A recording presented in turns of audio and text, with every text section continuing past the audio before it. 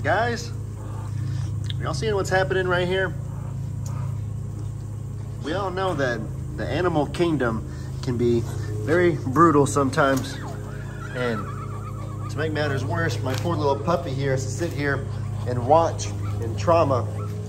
Poor Charlie over here is all traumatized seeing these ducks beat up each other. Or at least that's what he thinks is happening. It's almost like when we were kids, how when we saw animals doing that kind of stuff, we were like, oh, hey, look, they're playing leapfrog. and our parents were like, ah, yeah, son, totally. And then deep down, like, oh my gosh. You know what I mean? oh, oh, those dogs are mine. Yeah, that's right, guys. Y'all aren't setting a good example for my children. Adam or Steve and Deuce. Get a room, as they would say, right? Isn't that what they always say? Get a room or something like that. Y'all have a whole pond. Go over there. Don't traumatize my little boys. Because then they're going to be asking me questions and I'll have to give answers sooner than I'm ready to give answers. How many of you guys out there have had that exact same experience happen, but with your children instead of like with a pet or whatever. Your kids observe something, perhaps a movie, or older cousin says something they shouldn't say. Then your little kid who's probably not ready to hear it's asking you questions and you just don't know what to say. I'm sure many of you have been there and done that before. Uh, Tilly, you good under there? You need some assistance? I don't think so either, but I don't think she knows how to get out. Tilly, you gotta put the belly to the ground. Stop, drop, and roll, as they say. Oh my gosh, I'm feeling to see her stop, drop, and roll. There's old mama back there. I don't think she knows how to get out. Look, I seriously don't. I think she's trying. She knows. Doesn't really look like she got out. She's out. I mean, her I, I, I, out. I guess she is. Oh, she's doing So, that on purpose. She don't want to be out. That's what it is. Okay. You're fine. All right, Tilly. Now, Mommy has to go in. Guys, check it out. I'm a full-blown chicken lady now. Can you believe it?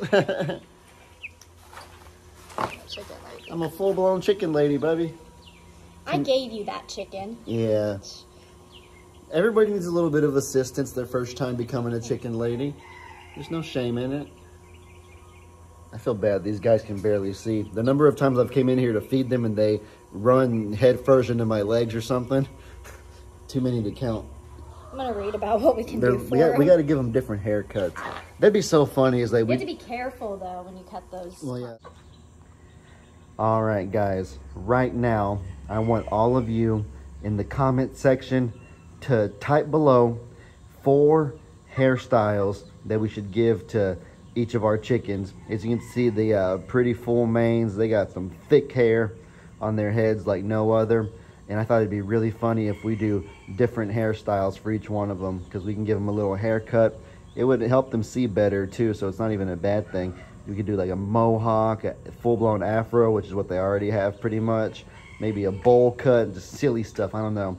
And I'm thinking that the four most commented hairstyles that I see in the comment section is what we will do for each chicken. So y'all comment down below what hairstyles y'all would like to see us give the four chicks. Look at that, guys. Fresh after a bath, running around, jumping and playing like never before. I saw on a Family Guy episode there was a cutaway of dogs running and playing in this really tall grass like this. And so I'm guessing that dogs must love playing and running in tall grass because I see my two boys, Charlie and Echo, sure as heck having a blast doing it right now. y'all love playing that tall grass, guys? Ooh, y'all enjoying yourselves? Uh-oh. Uh-oh, yeah, beware of this thing. Oh, look at him go. Look at the little boys go.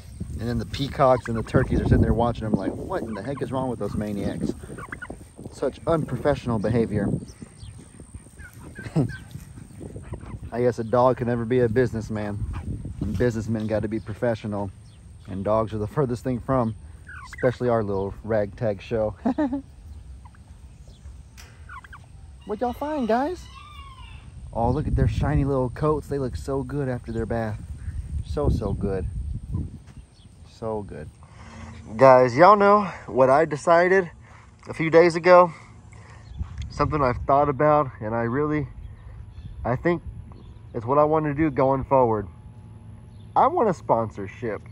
Y'all are probably thinking, wow, Ellie, that's random. It is kind of random, I know it. But if you think about it, it's maybe it's not quite as random as it sounds because uh, cousin Jake and cousin Bree have both had sponsorships before. Jake, I think was one of the first, Jake might have been the first in the family to ever get a sponsorship with the whole Zoo Papa trampoline uh, place. Brienne has like a kind of a partnership, maybe a partnership's a better word than a sponsorship. A partnership with that like little electric scooter place. Uncle Dan has got some too.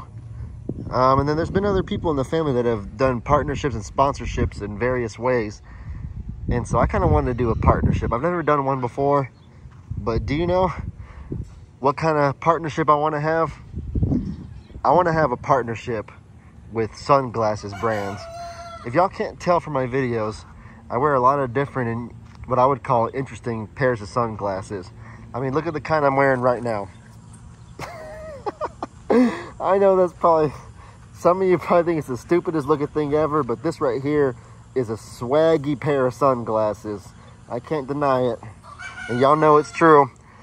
If you get over your initial shock, you may realize, you know, that is, that's a pretty cool pair of sunglasses you got there. Echo, you don't want to play. Echo, Echo, please stop harassing her. But y'all know this is a swaggy pair of sunglasses right here. And my fiance likes them as well. Right, Bubby?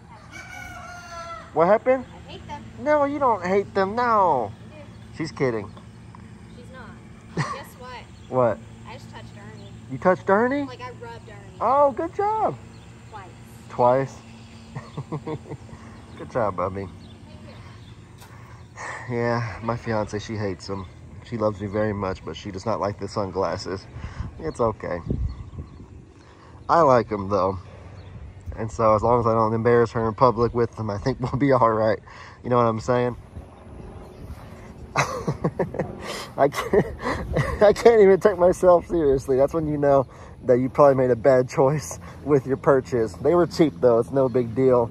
Now, I've gotten offers in the past to do different partnerships with different brands. I see them in my email from time to time. There will be a brand reaching out to me saying, hey, Flip Flop Farmer, we want to do a partnership with you. And it was just kind of always stuff that I never really found interesting or nothing that I really felt I had in common with. It wouldn't make sense for me to do a partnership with, you know, like a welding company because I, don't- I don't do welding as, as an example. You know what I mean? But sunglasses is something that I can really relate to and something that I feel I would have a great deal in common with if somebody offered me a partnership for that. So I've decided that hereforth, I want to do a partnership with sunglasses. So we'll see if that little dream or that little vision ever manifests into anything. If it does, great. If not, then it's not the end of the world, I suppose.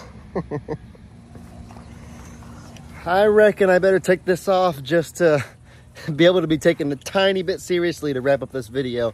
But I don't know if y'all can tell, I do have kind of bad allergies. A lot of people in my last video were commenting, asking about why I was sniffling so bad and what those sounds that were coming from my mouth was, or why I was breathing so weird. And self-explanatory, I got really bad allergies and it's hard to breathe. Nose is very congested. I'm trying my best to take Zyrtec and other things to trying to keep my allergies under control, but it's hard. It's brutal this time of year for people like me that are prone to allergies. I don't know what else to say other than that, you know, but with that said, guys, I hope y'all enjoyed this video. Y'all be sure to let me know in the comments what kind of stuff you guys want to see. I hope you all have an incredibly blessed day. And as I always say, your boy Ellie out.